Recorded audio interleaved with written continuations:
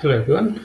If you are facing connectivity issue from MySQL Workbench to your DB instance of RDS, then it might be due to the security group and permission, especially the inbound connection permission. So I'm going to show you how to change the security group. I have one DB instance here and if I go into the instance then the current security group is the default one. So I will create a new security group.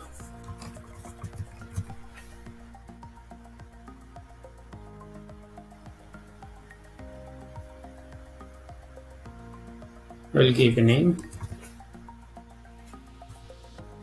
And in the inbound rules I need to add rules so here inbound rules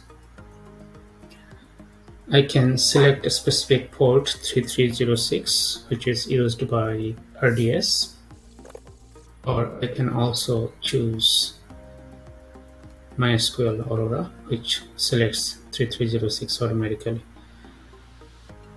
If you choose all traffic that will also work because that includes 3306 as well. So to be specific for RDS, I will choose MySQL. My RDS is uh, MySQL RDS. So it chooses 3306 when I select MySQL.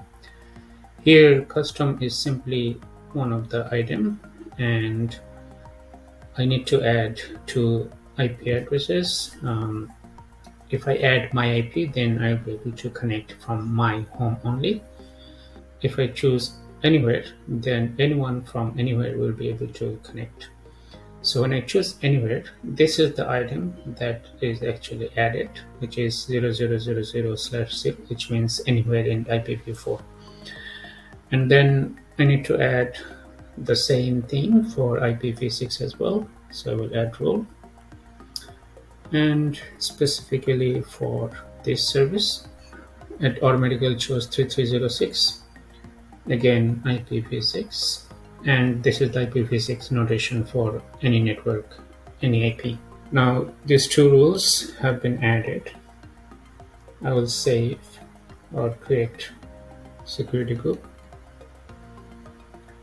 If I look into the inbound rules for this new security group I see that MySQL which is using 3306 port number and the source anywhere anywhere. Now I need to add this security group to the RDS instance.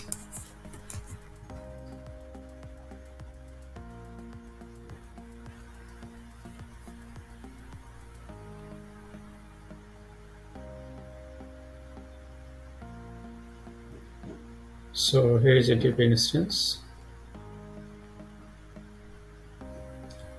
currently it's using default so I will modify.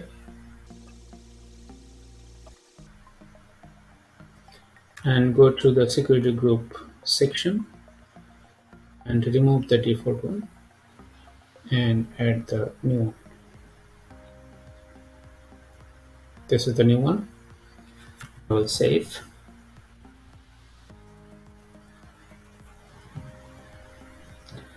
Now it takes few minutes to remove the security group and add the new one. So I can go inside the instance and I can see it's still removing and adding. In the meantime, I will make a connection to MySQL Workbench. So I'll copy the endpoint.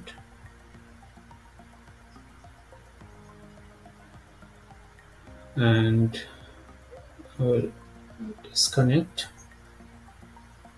I will delete all connections. I will add one. And in the host name I will put the endpoint.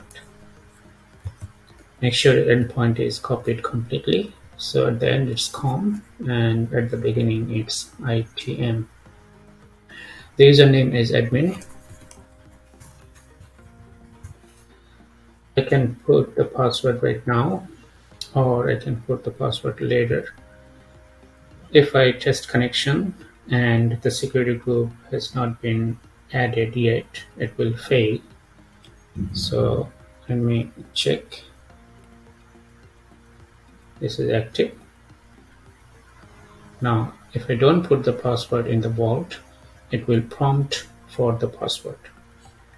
If I put the password, it will show test connection success. So let's do test connection and it is prompting. That's an indication that it could make a communication with the RDS.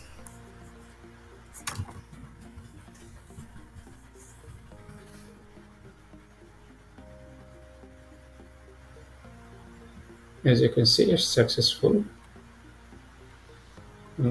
Now if I save this connection, I will keep a name and press OK. Now I can connect by clicking here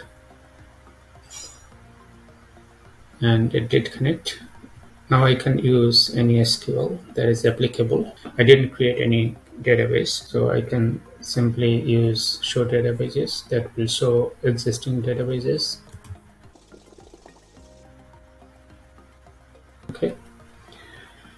That's all. See you in the next video.